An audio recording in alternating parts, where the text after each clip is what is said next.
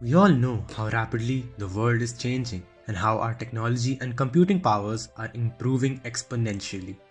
With more and more people deciding to dedicate their lives to the field of AI, it comes as no surprise that it has become one of the fastest growing and most competitive fields in the world.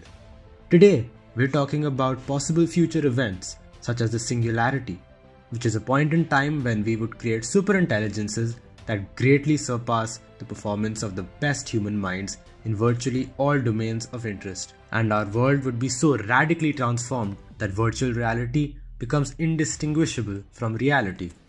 But these ideas, innovations, and advancements are not without doubt or fear, especially in a field like AI. There are many people who fear that if artificial intelligences can outperform every human mind, what control will we have over them? And what need will they have for us? Let's try to answer some of these questions by understanding a concept first introduced in 1944 that is behind many of the innovations in artificial intelligence today game theory.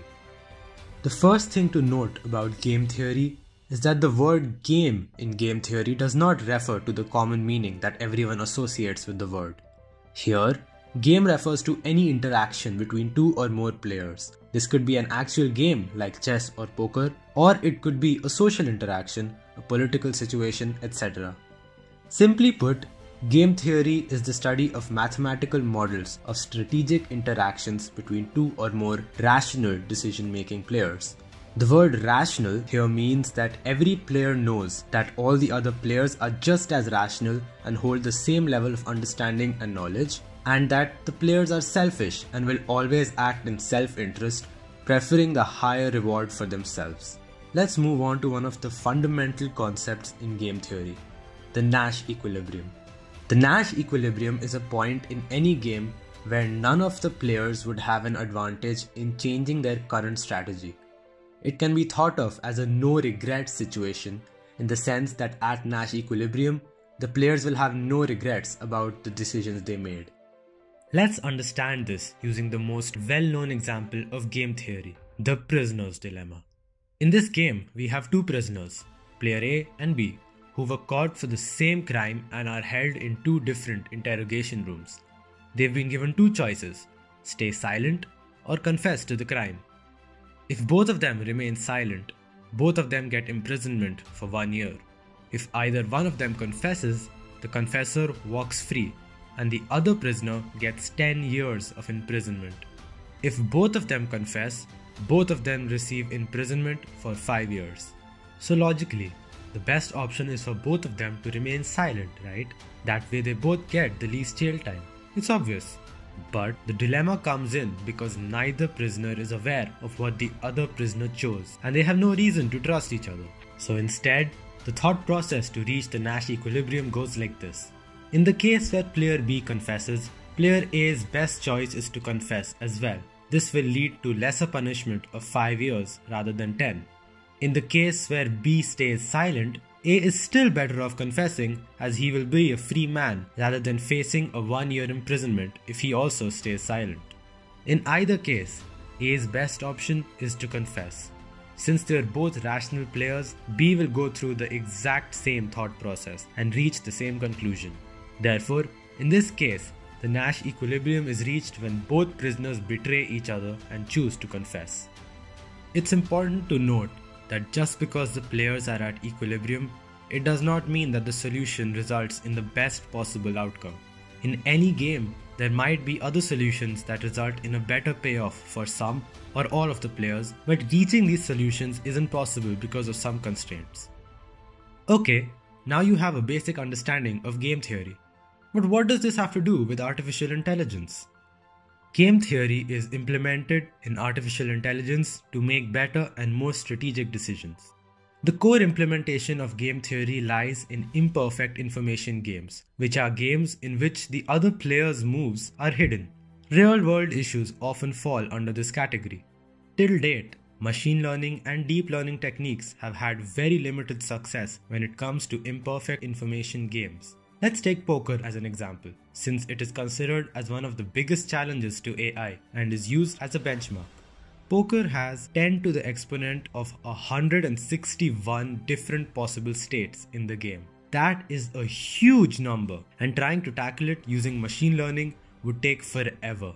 But an AI program called Libratus has outperformed any previous methods so far and has defeated world champions in over 20,000 hands of poker. It does not use any machine learning whatsoever. Libratus uses game theory. Game theory is also applicable in many areas indirectly. Take Google Maps as an example. If we consider all of Google Maps as a game, then all the people on the road using it are the players. When you tell the app that you want to go from point A to point B, based on what the other players in the game are doing, it recommends the best possible route that you could take.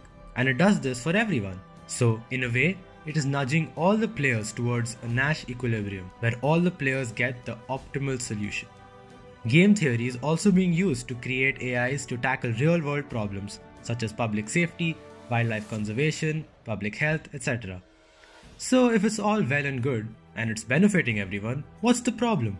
Well, before we can get to that, there is one more concept we need to tackle a very close relative of game theory decision theory. Decision theory is the study of how a player can maximize his or her expected outcome in situations where there are no other decision making players. It is more statistical than mathematical. Overall, decision theory provides a powerful tool with which to analyze scenarios in which a decision must be made without the interaction part of game theory. It's about a decision, not the game. There are several different decision theories in the world. Causal decision theory is the most commonly known one, and it results in decisions very similar to that in game theory. It is considered the academically standard theory. But there are many other acausal decision theories out there such as the timeless decision theory, logical decision theory, evidential decision theory, updateless decision theory, etc. Each of these have their own merits and arguments, follow different rules, and result in different outcomes when applied to the same situations. For example, two players that are running a logical decision theory can achieve mutual cooperation in a prisoner's dilemma, even if there is no outside force mandating cooperation. It is the existence of these and the possibility that they will be followed that gives rise to our next and most concerning topic. When we talk about the dangers of AI, most people imagine evil AIs that are conscious and want destruction for no reason. But that doesn't need to happen at all. Being far more powerful than any human or human institution, a super intelligent AI whose goals are even slightly misaligned with ours could cause human extinction for the very same reason that construction workers thoughtlessly wipe out large populations of ants. Let's illustrate this using an infamous thought experiment. Dubbed the most dangerous thought experiment in the world, Roko's Basilisk is a thought experiment that uses ideas in decision theory to argue that a sufficiently powerful AI would have an incentive to torture anyone who imagined it but didn't work to bring it into existence. This is considered an info hazard because just knowing about the possibility of the basilisk could put you at risk of torture from this hypothetical entity. The argument talks about a super intelligent AI that is tasked with making the world a better place.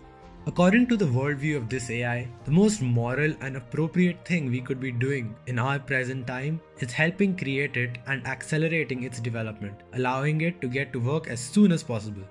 Because people respond to fear and this godlike AI wants to exist as soon as possible, it would be hardwired to hurt people who knew about it but didn't help create it. This now includes you. Most people reject this experiment, saying that an AI like that would have no real reason to follow through on its threat, since it has nothing to gain from it anymore. However, there are several decision theories that allow one to follow through on acausal threats and promises. In addition, because computers process information much faster than human brains, the world could be manipulated by a superintelligence at rates that would far surpass any human attempt to try and stop it.